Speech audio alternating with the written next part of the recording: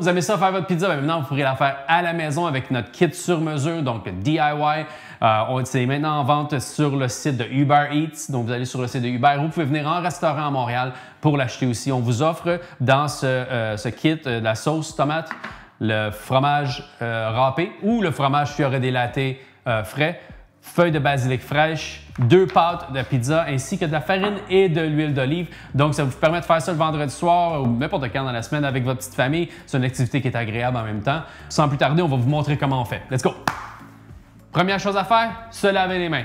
Avec du savon liquide à vaisselle, on lave les mains 20 secondes ou on chante deux fois bonne fête. Ça fait la job. Bonne fête à on essuie comme il faut. On va commencer avec la première. Peut-être une louche. Fais-tu une louche, bébé? Prends une grosse cuillère comme ça, tiens, c'est bon. Première étape, on met un petit peu de farine sur la table pour éviter que ça colle. Si vous avez une table en marbre, en, pierre, c'est l'idéal. On va prendre la pâte et on va la sortir sur la table. on va la mettre comme ça sur la table.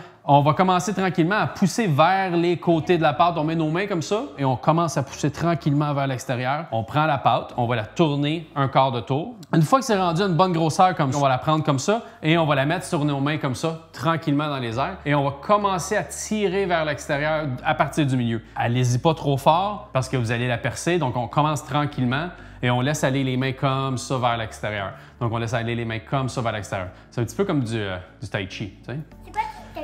C'est comme un art. Euh, tai Chi, c'est comme, un, comme un peu du yoga, là. I don't know. On tourne comme ça un petit peu, on utilise la pesanteur et puis bam, on peut la remettre comme ça sur la table. OK? Donc maintenant, notre pâte est pas mal déjà ouverte.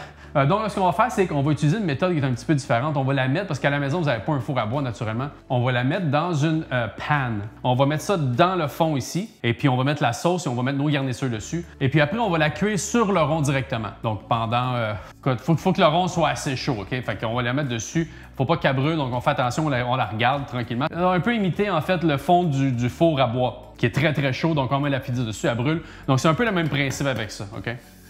Et après, on va la finir dans le four. Mais avant, on va la faire, juste la faire gonfler un petit peu. OK? Donc, on va prendre la pâte, on met notre main ici, on prend sur le côté, on va la revirer sur le dessus de notre main comme ça, pouf, et on va mettre la pizza dans la panne comme ça. Donc, all Donc, on va mettre ça comme ça. Donc là, notre pâte, notre pizza est vraiment bien étalée dans notre panne. Alors, la première chose, ajouter l'huile dans le fond de la panne pour pas qu'elle colle, qu'on n'en met pas trop. Il faut aussi avoir quelqu'un qui vous aide comme ça. On tire la pâte, pouf, dedans, si ça vous aide mieux. Donc, si c'est plus simple pour vous, il y a des petites boules comme ça d'air, on tire comme ça, pouf, bang, ça s'en va. On met la sauce comme ça et voilà, c'est fait. Tu veux celui-là ou l'autre? On va faire celle-là avec le fromage fiore di latte. On a même un petit peu partout alentour. Et voilà. Ça, c'est le, le, fromage mozzarella fiore di latte. C'est un fromage qu'on va mettre en, pièces comme ça, en petits morceaux. Vous pouvez le faire en petits, petits morceaux. Vous pouvez le couper au couteau si vous voulez aussi. Vous pouvez le faire à la main. On va mettre un petit peu d'huile d'olive sur le dessus à la fin. On met toujours un petit peu d'huile d'olive sur une pizza en margherita. On va mettre nos feuilles de, de basilic avant. Nous, on aime mieux ça comme ça. À la maison, si vous voulez le mettre après,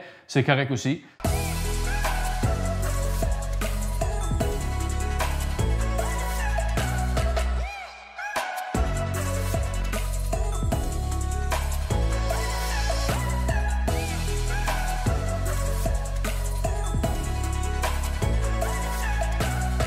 On va mettre ça directement sur le feu.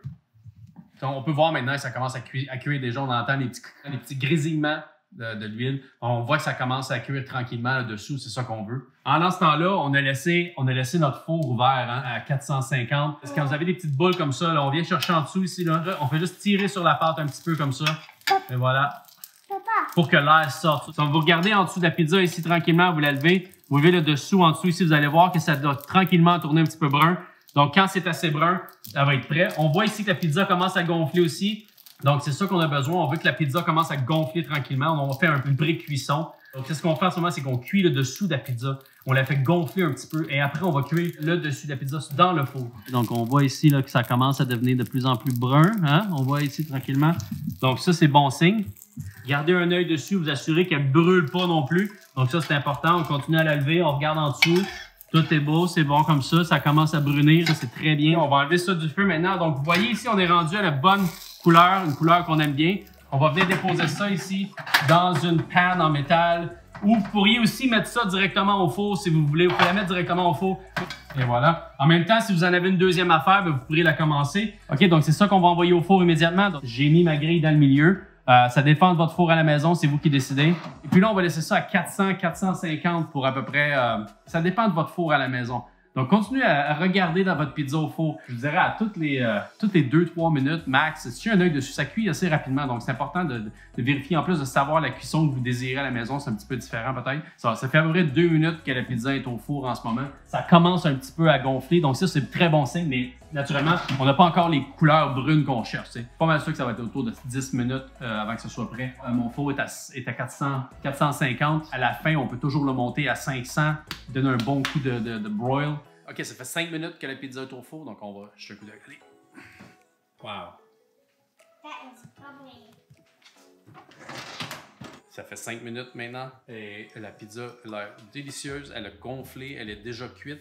On va continuer à la faire cuire et vers la fin, on va peut-être la monter vers 500 degrés. Si on a besoin, si on n'a pas besoin, on va la laisser comme ça naturellement. Ça dépend de vous. Euh, à la maison, si vous voulez, moi j'aime ça avec un petit peu brûlé naturellement sur le dessus. J'aime la pizza au four à bois.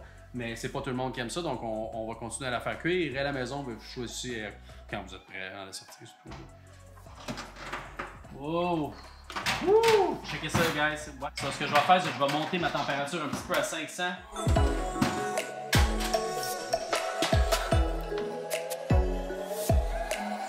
Donc c'est parfait, la pâte est bien cuite, le dessous est bien cuit, prêt à manger, croustillante. Donc sur le site internet de Uber Eats ou en restaurant, venez chercher votre kit pour faire votre pizza sur mesure à la maison. Et puis euh, amusez-vous en famille. Bonne quarantaine. Pizza pour Charlotte.